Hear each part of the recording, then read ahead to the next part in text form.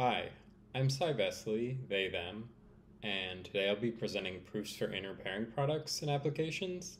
This is a joint work with my excellent collaborators, Benedikt Bünz, Mary Maller, Pratyush Mishra, and Nirvan Tyagi. So in this work, we use pairing-based commitments with a structured reference string to achieve linear time prover and log time proof and verifier arguments of knowledge for several relations. First, we have TIPP, where we have a vector of g1 and a vector of g2 elements for a pairing-friendly elliptic curve equipped with a bilinear pairing, and we show that the inner pairing product of the, these witness vectors is equal to some public value z. Not shown here is, is that we first have a commitment to these a and b vectors. We also construct inner product arguments for multi-exponentiation or multiscalar multiplication, depending on how you like to write your group operation. Don't worry, in our paper, we use both addition and multiplication, so you'll be happy either way. We actually present two multi-exponentiation inner product arguments, one for a known vector of exponents and one for an unknown and committed vector of exponents. All these schemes are given as an instantiation of a protocol GIPA, which generalizes BCCGP16. This was the precursor to the better known bulletproofs, and LMR 19, which first extended this to the pairing setting. So the main difference between our protocols and the ones in LMR is that we achieve a log time verifier, whereas using Pippenger's, you get an ON divided by log n group operations verifier for LMR 19. We also reduce prover complexity and proof size by a constant factor. We also show a lot of applications of our inner product arguments in our paper. So for example, we build a polynomial commitment for people who are not familiar with these. The idea is that Alice knows some polynomial over a finite field of degree at most d. She is able to make a short commitment c to f of x and send that to Bob, who will then send a challenge point z, maybe multiple, but for simplicity, we'll say single one. Alice responds with an evaluation v and an evaluation proof pi, which is an argument of knowledge of f of x such that f of z is equal to v. And applications of polynomial commitments include snarks for NP, accumulators, vector commitments, verifiable secret sharing, and a lot more. So to look at our polynomial commitment, we get constant size commitments, logarithmic proof sizes and verifier time, and interestingly, we get square root CRS and evaluation prover complexity. So for applications where we need to deal with really high degree polynomials, such as proofs of replication or applications where we need to make numerous or frequent openings of these polynomials, such as accumulators, this provides a good option. To give a concrete example, we compare our work to the state-of-the-art KZG10 polynomial commitment scheme for polynomials of degree 2 to the 26. So we see the CRS is dramatically smaller at 3.2 gigabytes versus 4 megabytes. That evaluation prover time shrinks drastically also from 16 minutes to 15 seconds. And then KZG10 does have better proof size and verifier time, both by a factor of about 10x, but that concretely, our proof size is only a few kilobytes and our verification time is only 46 milliseconds for these large polynomials. And for a lot of applications, that might be a lot more acceptable than 16 minute prover time, for example.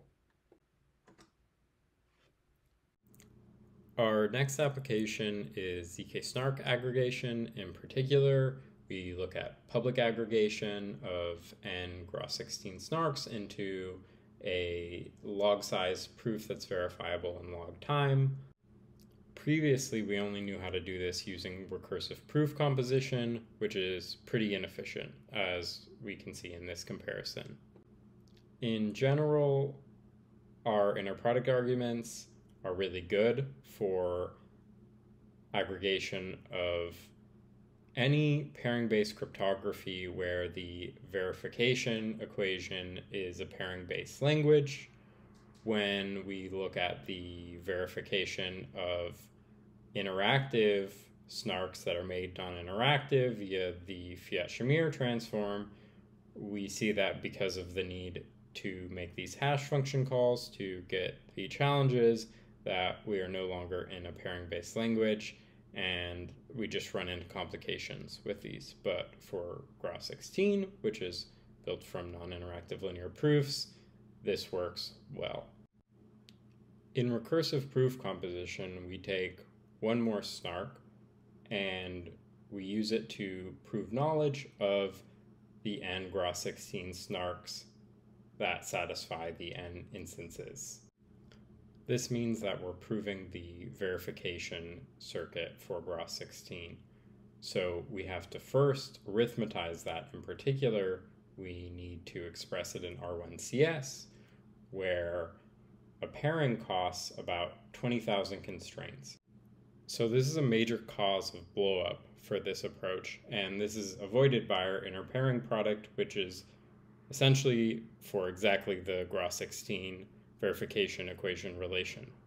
So another major cause of blowup in prover time for the recursive proof composition approach is the fact that I won't get into the technical details of why, but you need to use a two chain or a cycle of pairing friendly elliptic curves. The two chain is a little bit more efficient, and that's what we compare to here, where the proof of the proofs in the outer curve is done over a 760 bit curve. Unfortunately, we do not have smaller outer curves for two chains or cycles. And for comparison, we use 380 bit curves for pairing based cryptography when we don't need recursion. And this is for the 128 bit security level. So we actually see because of this big blowup that benchmark stop at 64 for the two chain approach because we ran out of memory on a laptop. And we see, though, for 64 proofs that aggregation using our inner pairing product arguments is about 900 times faster. And in fact, in the time it takes to make a recursive proof of 64 proofs, we can aggregate 65,000 proofs to a 35 kilobyte proof that takes 300 milliseconds to verify. The third and final application that we look at is low memory snarks for machine computations. For a computation that takes time t in space s, a monolithic snark proof takes space that is quasi-linear in s times t. Our approach is to create T-snarks, each of a single transition, and we use inner product arguments to aggregate the results. If we were to apply the techniques of last section directly here, then we would end up with proof size that were linear in the size of the instance x times t because we would be including all the intermediate values of the register, the intermediate instances. Instead, we recognize that the verifier doesn't need to know these intermediate values and doesn't care about them. Instead, what they care about is the fact that the output of one transition snark matches the input of the next. So what we do is commit to all these intermediate register values, and then we create a proof that this is the case, that this matchup happens. And doing so, we are able to instead get proofs that are linear in just the x that we care about and logarithmic in t. And we get the same verifier time complexity as well. And this only requires space that is quasi-linear in S plus T. So previous results used recursive proof composition, and as we saw before, this is concretely inefficient. Building up to our inner product arguments, our inner pairing product arguments, we're going to first look at an argument of knowledge for a pairing-based commitment opening, specifically the AFGHO16 commitment scheme, which is what we base our commitment scheme off of. The prover is given a common reference string, which is a vector of n random G2 elements, and they hold a witness, which is a vector of n G1 elements. The commitment is the inner pairing product between the A and V vectors, which we write as this A asterisk V notation. Next, the prover parses the V vector and the A vector into a left and right half, each of equal length. The prover then sends these cross terms TL and TR, which is the right half of the A inner pairing product with the left half of V and vice versa. Fire responds with a random challenge X from the field, and then the prover outputs a witness, A prime. So in practice, we keep folding a logarithmic number of times until A prime is just a single group 1 element. Just to show how the math works, we look at a single round here the verifier computes the scaled CRS V prime and then checks that A prime inner product V prime is equal to x times TL plus T plus x inverse times TR. And we show how the left-hand side expands here, and basically that the math works out. I'll give you a second just to check that.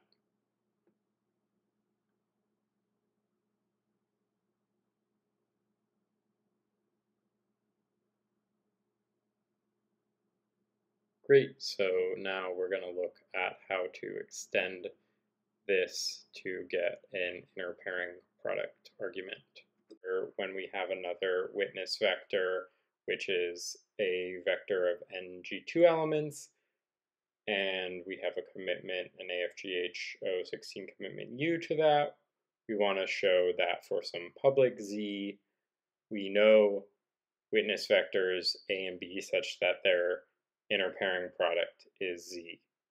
So what we do is we perform the two opening argument of knowledge in parallel using the same challenges, the opening of T and U, and we also, in each round, send these ZL and ZR cross terms between the A and B vectors.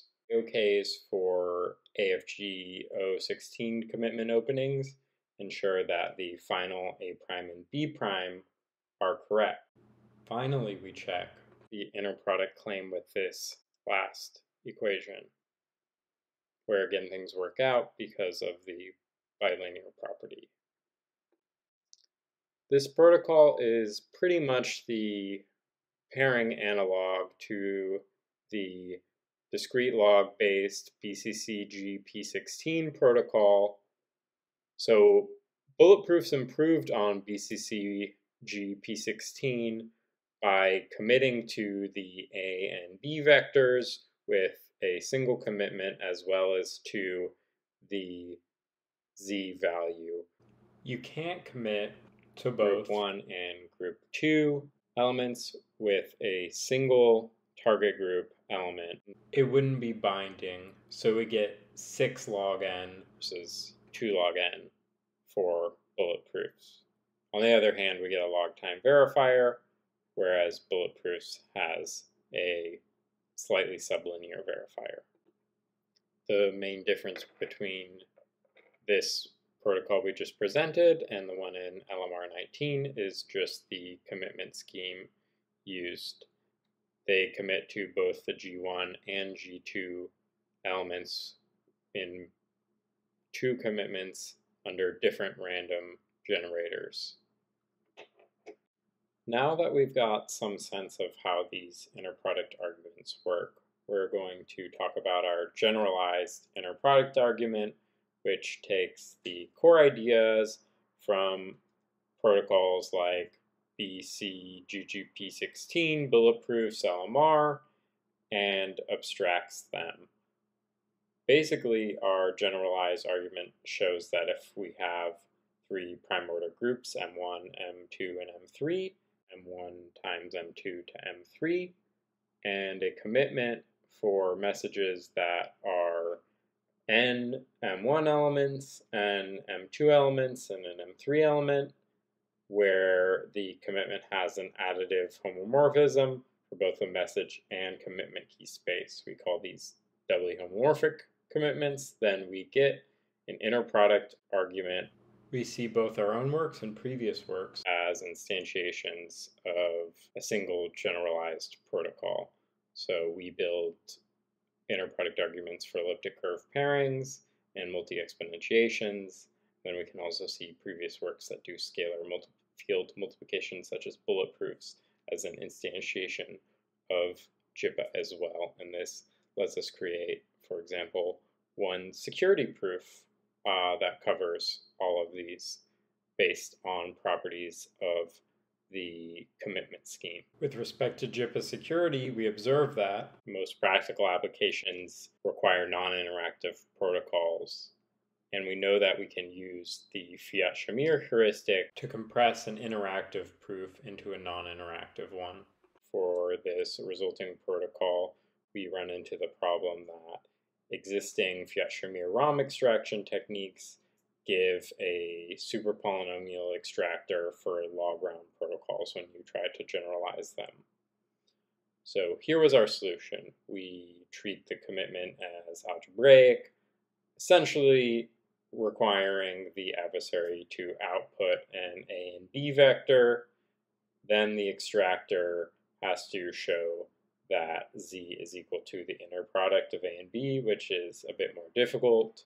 For this, we use the zero finding game from BCMS 20, which essentially relates the probability that an adversary wins at Schwartz-Zippel to the number of random oracle queries it makes. We saw an inner pairing product argument for the AFGHO commitment scheme that had logarithmic size proofs. In each round, we sent those cross terms, which was a constant number of target group elements. And there's only a logarithmic number of rounds, and that constitutes the proof. So we have a log proof size, and we had a linear verifier time. So we had to do a logarithmic number of target group exponentiations to fold in those cross products with the commitments in each round, where that was on the right hand side of those equalities we're checking, and then on the left hand side, we had to fold in each round the commitment key. And this is what required a linear amount of work overall or slightly sublinear if we defer computing the final commitment key to the end, which the verifier can do, and then use Pippenger's to compute the multi-exponentiation.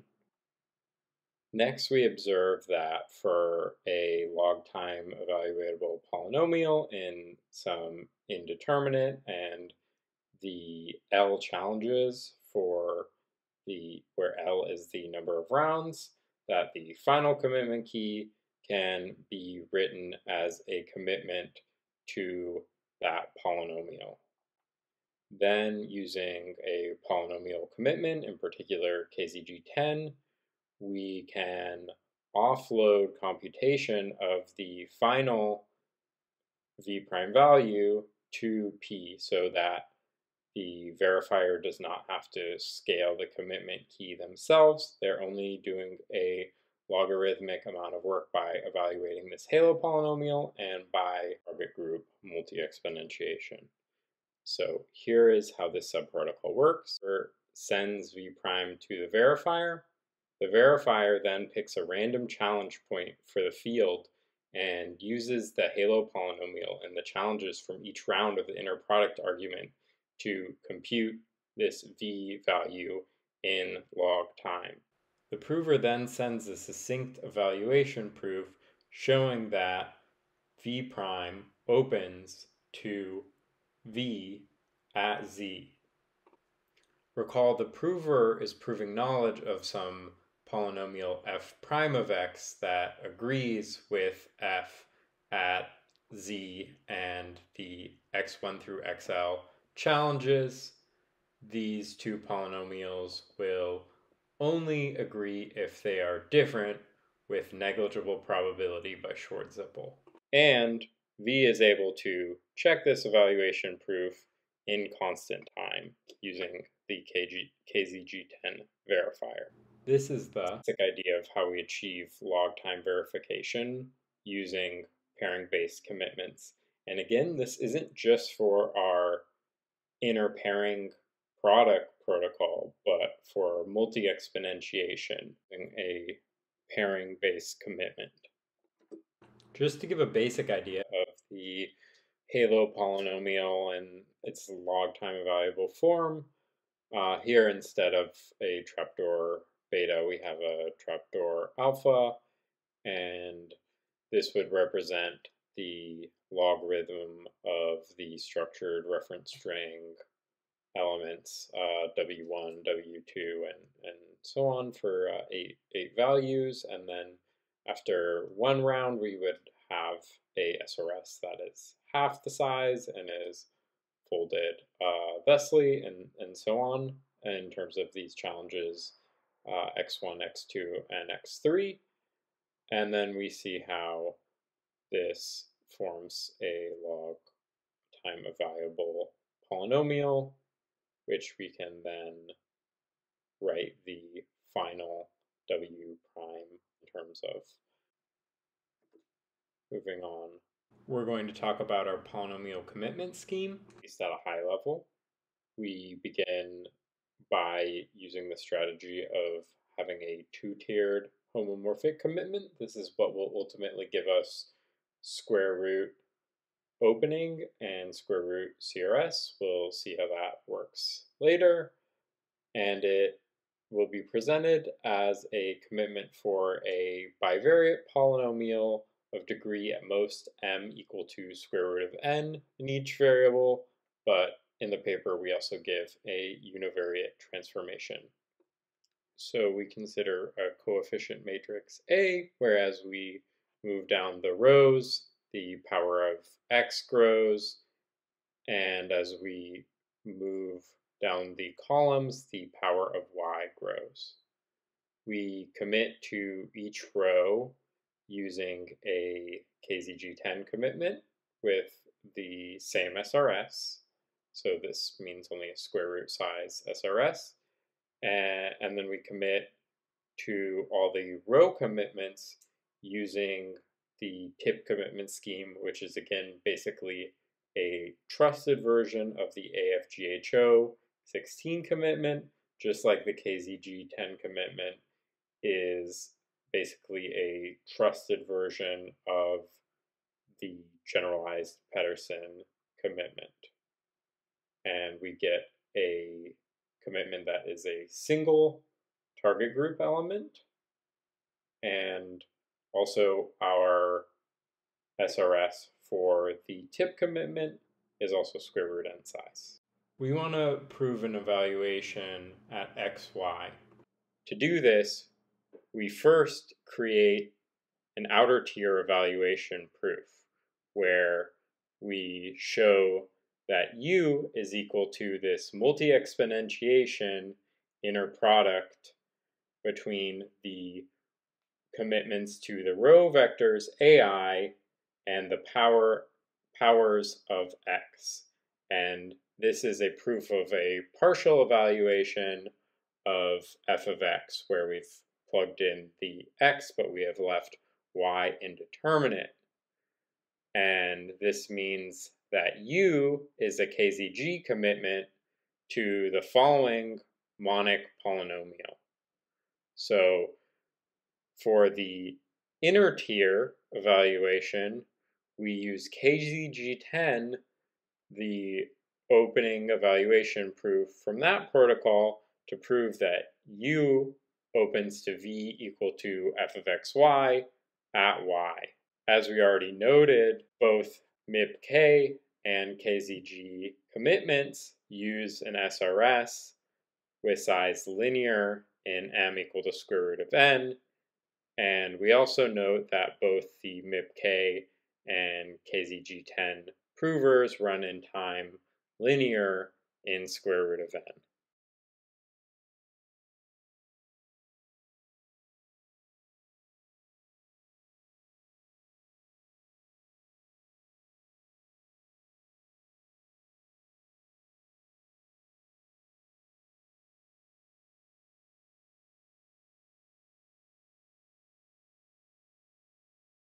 We will, however, take a minute to look at subsequent work. First, Lee 20 and Dory introduces an inner pairing product argument that achieves a log time verifier without a trusted setup. This comes at a six times increase to proof size plus verifier time. Whether this is a good trade off or not just depends on the application. We've also seen lattice based inner product arguments from BLNS 20 recently which achieve polylogarithmic proof size and linear time verifiers. We've also seen our work applied to vector commitment opening proof aggregation, incrementally verifiable computation without recursion, and snark aggregation. And we've seen some industry adoption. Our protocols or derivatives thereof are already in use by Polkadot and Filecoin. Finally, we conclude with some open questions, some of which have been very recently answered. So recently, we've seen a proof in the ROM for inner product arguments. In particular, the result is showing for a generalized notion of special soundness that when you apply fiat Shamir to these protocols, you get a knowledge sound protocol in the ROM that is tight, and so this is actually a little bit more general of a result. The next step would be to consider uh, if for particular commitment schemes there are correlation intractable hash functions such that we could have non-interactive inner product arguments that are knowledge sound in the standard model. Another direction to go in would be to try and extend the results of AFK 21 to the quantum random oracle model. Another question was whether we could achieve sublinear verification without pairings. And in particular, this is kind of a technical reason, but multi-exponentiations using Pippenger's still use a quasi-linear number of field operations, which is important when using inner product arguments to build polynomial commitments to plug into polynomial IOPs or algebraic holographic proofs if you want them to run in a linear number of field operations. And since LS21 actually requires square root group operations, it does accomplish this. The next question would be, can we achieve logarithmic verification without pairings? And can we improve on the lattice based inner product argument of BLNS20? Could Dory be adapted to the lattice setting? And this might also answer our question of whether we can achieve logarithmic verification without pairings. Can we improve on the arithmetization of bulletproofs or LMR, which would mean taking an arithmetic circuit and turning it into an inner product, which we then prove with an inner product protocol rather than turning our inner product argument into a polynomial commitment and then plugging it into a PO, IP, or a AHP. So that wraps up my talk. Thank you for watching and be sure to check out the paper at this link. If this were a live talk, this is where I would be asking for questions, but if you are at AsiaCrypt, you can ask me them during the live session.